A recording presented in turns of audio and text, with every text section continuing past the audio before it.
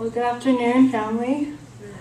We're back from cold Cincinnati, Ohio last weekend.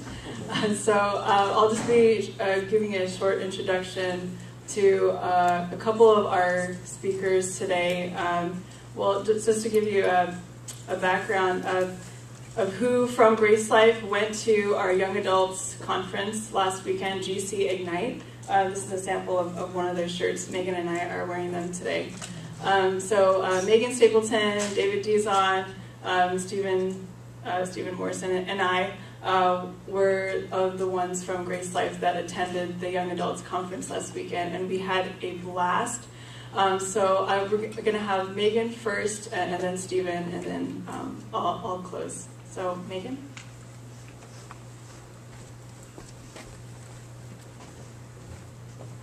Hi, all. So, I'm also going to give a bit of a background of what GC Ignite is, if this is your first time hearing of it.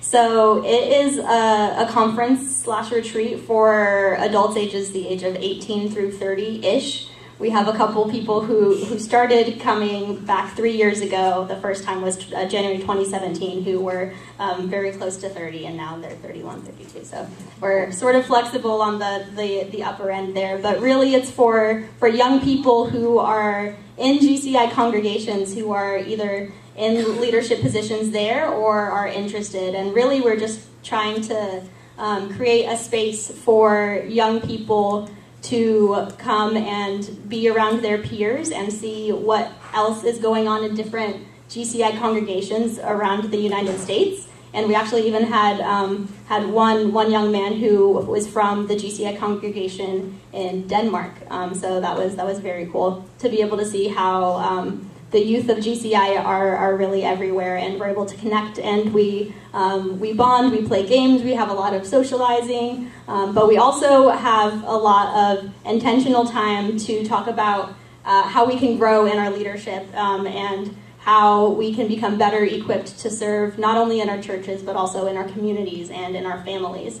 And the theme this year was renew, and it was based out of the, the chapter Romans 12, um, where it talks about do not be um, conformed by the patterns of this world, but be transformed by the renewal of your mind. And we talked about, um, we went through that whole chapter, and we did different sessions and workshops where we broke out into small groups. And we talked about different relevant issues and how um, the, the words in Romans 12 apply to that.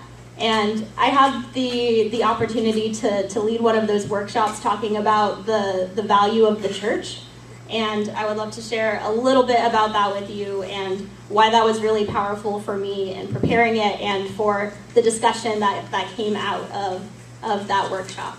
So I'm going to read the part in Romans 12 um, that I pulled from. Um, so that starts in Romans 12 3.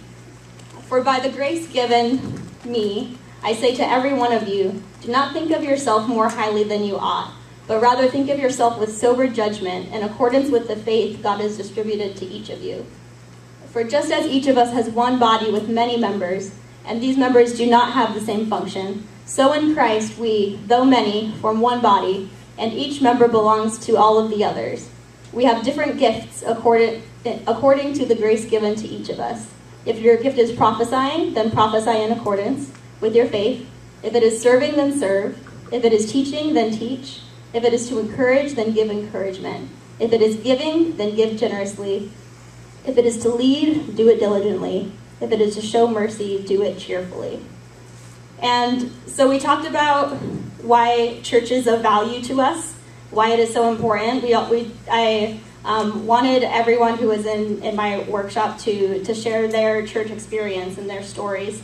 And we also talked about the, the things in the church that we experienced that maybe weren't so great because as you know we are just a bunch of broken people and so so pain and hurt also happens within the church even though we may like to think that it is a, a sacred holy place which it is but that does not mean that it is removed from all of the pain and suffering that is in the world. But we talked about why it's still so important to come together and to go through life together and to be with each other in those painful situations. And that when we gather together, it is so important because we when we are alone, we are not able to fully participate in the bigger part of the body, with, with the, which is what God God is doing um, in our churches.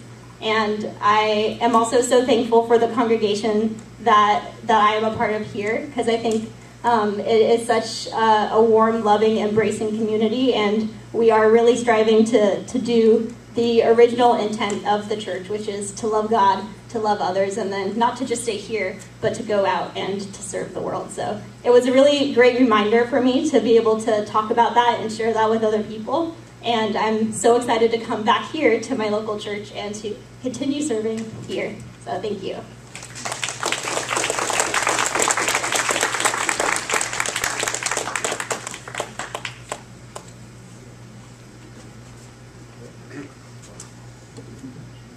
Hello, everyone.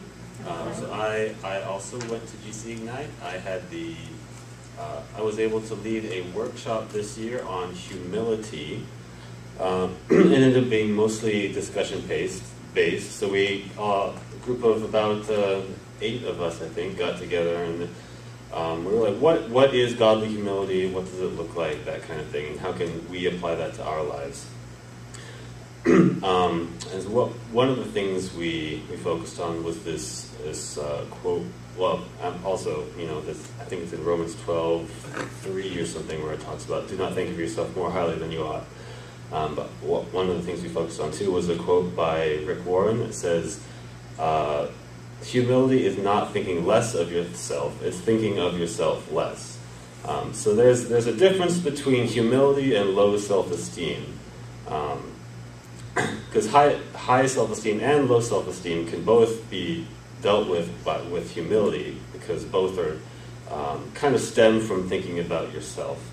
Um, and so because we we should have high self-esteem because of the value we have as you know as children of God.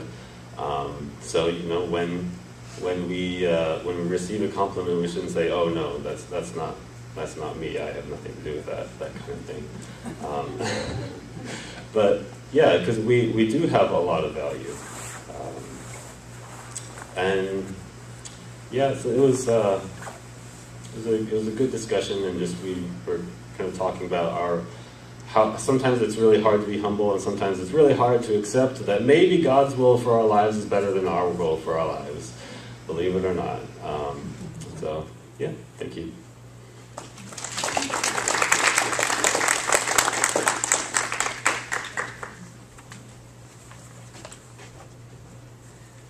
Thank you, Megan and Stephen.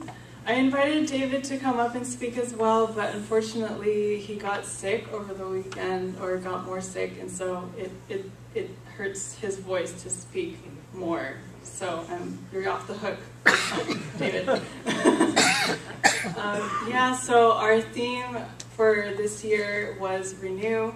Uh, Stephen and I had the privilege of being on the curriculum team this year. It was our first time um, as, as a couple to just be able to work together um, on, the leadership team. This really was a, a miracle that, that happened. Uh, the timing of everything was less than ideal, but at one point I had to just lift my hands up to God and say, you know, Lord, I may be on the leadership team or curriculum team, but and, and I feel I may feel like it's gonna go down in flames. But this is your conference. God, this isn't my conference, it's yours. And if you're going to make it happen, you're going to make it happen. And boy, did God make it happen.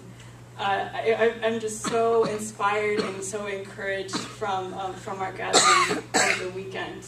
Um, I, I, saw Megan on the worship team. David used his amazing musical talents as well um, to be on, on, on the worship team. Um, so to, just to give you a, a recap on, on what happened over the weekend. So we had we had four different sessions.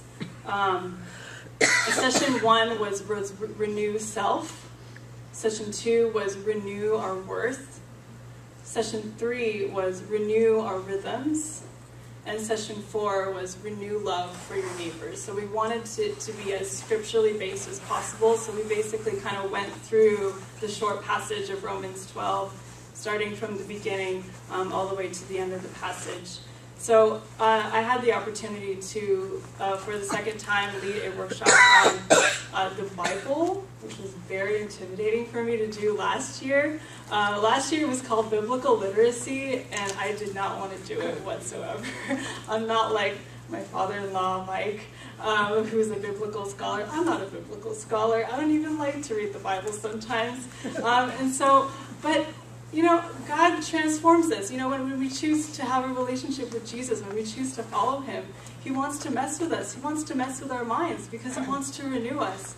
Um, one of one of our, our leaders, uh, Kara, she said, um, God doesn't want us to stay our old crusty selves. And I think it's just so gross. I don't want to be crusty, you know? I want Jesus to renew me uh, and, you know, chip away the crustiness off me. You know, it, it's just, it, it's, it, yeah. So um, I had the opportunity to lead a workshop called, and I, I just, I decided to change uh, the workshop title from biblical literacy, which can, to um, millennials can seem a little bit intimidating, to rediscovering the Bible because I myself am in a process of rediscovering Scripture for myself, and instead of being turned off by Scripture, uh, realizing that the Bible is actually a library uh, with literary styles and genres, and so it's something like when you read the Psalms, for example, you read it differently than how you would read uh, Romans, one of Paul's letters, just like how you would read a novel uh, different from a, a, like a suspense uh, book. And so the, the, the, Bible is just so rich uh, in history and narrative, and that the Bible is actually a unified story that leads to Jesus, and that we are called to be swept up into the same story, into this adventure. Um, so I was able to lead uh, Rediscovering the Bible in, in session one. Uh, we also had the privilege of having um, an, an, activity together uh, with Jeffrey Broadnax. Um, he facilitated uh, a leadership activity called Five Voices, um, and, and that's taken from a giant uh, organization. Um, so basically, the, the five every every human being has each of these these five voices, um, quiet uh, to loud, and so it's starting from a nurturer. I am a nurturer. Um, uh, Stephen is a nurturer. I believe Megan is guardian. nurturer, nurturer, and then secondary guardian. Um, so nurture is the quietest voice. Um, creative is the is the second to the quietest voice, and then guardian, um, and then we, we have connectors, and then we have pioneers. And so the purpose of the, the five voices activity was in order to lead, in order to lead in your church or to lead in, in your in your own context at work and your family, you have to know yourself. And, and we're always in the process of knowing ourselves. How did God, how did God wire me? Um, and so, and how can I best um, use my strengths to to benefit uh, the church? Um, and so that was really, really important to see the intergenerational uh, communication by having Anthony Mullins, our uh, our internship uh, director there, um, Pastor Daishan Mills, uh, from, from Ohio. He, he was there. And so it wasn't just um, a gathering of, of young adults. Uh, we, we, had our, our older, more seasoned leaders to give us wisdom, as to kind of help us along the way. And what I really appreciated about the weekend was it, it's not just a gathering, just like a little powwow of, of millennials coming together, but recognizing that we gather in order to be sent out again, uh, to live, living out our, our sentness that if, if you're a, a Christian or, or follower of Jesus Christ, you God called, God created you to be sent. Just how God, God the Father sent Jesus into the world to be the light of the world. We are each carrying that light. And so we, we are each sent. And so I um, so encouraged. Um, and, and, we even ended the weekend um, on, on mon- Monday. Uh, it was a Martin Luther King weekend. So it was a long weekend. So uh, Monday this week, we ended the weekend uh, with affirmations. And, and that was really powerful for me. Uh, we were able to go around the room and just write on, on different pieces of paper with different people's names on it. And just write words of affirmation uh, of encouragement and, and how you can see this person uh, in, in the future, how God will use this person. And what I really appreciate about this affirmations exercise was that the affirmation is not just coming from me um, as a human being, but this affirmation is coming from God as well. And so as I'm reading these, these words of, of, of comfort and affirmation on, on this piece of paper, um, I'm able to see that it's not just coming from this person, but this, these words are coming from God. I hope Jan's going. Thank you, uh, Barb and, and Judith. For, yeah. hope she's, I hope Jan's doing okay. Um, so uh, we'd like to, I'd like to just close by sharing a few photos from the weekend, just to give you a little taste of how cold it was, uh, and how uh, God just surprised me or, or, surprised us over the weekend. Um, Saturday night we had uh, a social, uh, and then Sunday night we have a worship night. And so Saturday night during our social, um, over half the people weren't even dancing anymore because it was started snowing outside. And it was my first time uh, experiencing falling snow and experiencing how much it stings when you when it hits your eyes and your face and how cold your ears get and you really do need to wear gloves when you're trying to make snowballs and throw it at people. Um, otherwise, you just can't feel them anymore, and it hurts. It hurts. Um, uh, yeah, so it was probably negative three degrees Fahrenheit at night. Um, but thankfully, we, uh, we uh, the retreat center was was great. It was comfortable. We had good heaters, um, and we lived. Uh, oh, sorry. We were by right by a, a lake, a, small man-made lake, and it froze over over the weekend. So we got to see it kind of froze, freeze over. It was my first time seeing that as well. Um, also, uh, not only did it snow on Saturday night, but we had a lunar eclipse on Saturday. How, how many people witnessed that? Yeah? Wasn't that, that was cool. So I didn't, I had no idea we were going to have a lunar eclipse, and I, it was just so cool, just the timing. God just treated us. I was just like, God is so cool. Thank you. Um, so snow. Um, what else, Stephen? Do we only have like group photos? Oh yeah. So there's Sierra Quinn and Patrick Quinn on on the left and on the right, and then the middle is Megan singing. So we had a really great worship team over the weekend. Um, uh, so the, uh, the opening night, last Friday night, we had uh, icebreakers and we had different games just to get us uh, running around. And we, we played um, rock, paper, scissors, and there's David and I playing rock, paper, scissors. Um, this is a group all from California. Uh, the majority of our attendees came from California, so we, a lot of us did have to travel far. Um, that's my brother. They're on the on the on the bottom right, and there's David. Um, so, and then that's just our our whole entire group there. Um, uh, just just seeing these faces and, and getting to know them a little bit more, I see them differently now than, than I would have before the weekend. Is, is that the last one? That's the last one. So just want to thank you so much for your love and your prayers and, and your, your money, your financial support. we, we couldn't have done this uh, without people like, without a loyal members like you. And, and we want this to keep going on for years to come. Uh, next year, next January, we're planning to have it in uh, East and West Coast uh, GC Ignite.